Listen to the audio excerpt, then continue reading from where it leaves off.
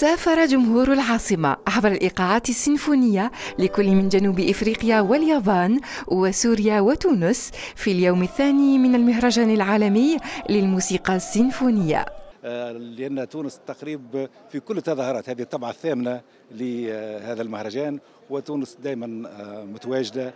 ما في زيادة في اللحمة والمحبة والمودة بين الشعبين الشقيقين تميزت مشاركة جنوب إفريقيا بثلاثي الأوبرا ويجدر ذكر أن هذه الدورة الثامنة من المهرجان كرمت الفنانة الراحلة مريم ماكيبا كالتفاتة شكر وعرفان من الشعب الجزائري الذي يقدر كل ما قدمته هذه الفنانة للقضية الجزائرية.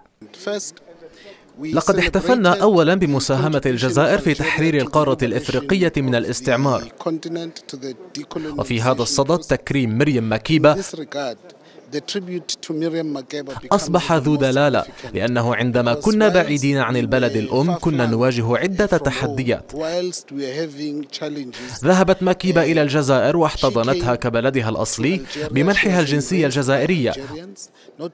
وهذا يدل على العلاقة الوثيقة التي ملؤها الصداقة والتضامن والالتزام لبناء القارة الإفريقية معا.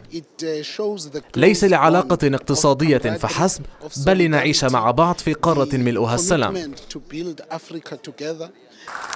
واختتمت السهرة بأداء الأوركسترا السيمفونية التونسية بقيادة المايسترو حافظ مقني.